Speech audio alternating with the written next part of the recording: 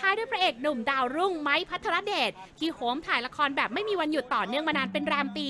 งานนี้เจ้าตัวเผยว่า ยินดีรับทุกโอกาสที่ผู้ใหญ่หยิบยื่นให้ โดยไม่หวั่นว่าน่าจะช้ำแม้แต่น้อย เพราะเห็นว่าทุกงานมีความน่าสนใจ และที่ยอมทุ่มเทแรงกายแรงใจมากขนาดนี้ เพราะอยากให้ครอบครัวสบาย แล้วก็อยากรีบเก็บเงินซื้อบ้านหลังใหม่ที่กรุงเทพอีกด้วยค่ะทุกวันนี้ผมผมหาเงินได้ ทุกวันนี้ผมให้ครอบครัวหมดเลยไงผมให้แม่ถือผมยังขอเงินแม่ใช้อยู่ทุกวันเนี้ย แต่ถ้าแม่จะเอาไปทำอะไรแม่ก็ไปถามผมก่อนครับครอบครัวก็สบายขึ้น จริง ๆ ปีนี้อยากซื้อบ้าน แต่ว่าต้องดูหลายอย่าง คือเราต้องรับผิดชอบอะไรหลายอย่างผมว่าราให้อยู่ตัวกว่านี้ก่อนดีกว่า นอกจากนี้หนุ่มไม้ยังบอกอีกว่าถ้ามีโอกาสก็อยากจะเหินฟ้าไปทำงานที่แดนมังกร เหมือนรุ่นพี่นักแสดงคนอื่นๆบ้าง เพราะเขาพอจะสื่อสารกับแฟนคลับจีนได้ เนื่องจากเคยไปเรียนที่นู่นมา 2 ปีค่ะ